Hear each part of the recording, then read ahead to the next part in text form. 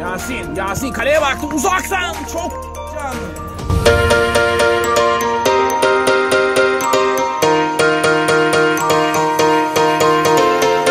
Ve Berkay. Sol aldı. Berkay köşeye doğru son anda Bora'nın müdahalesi. Korner.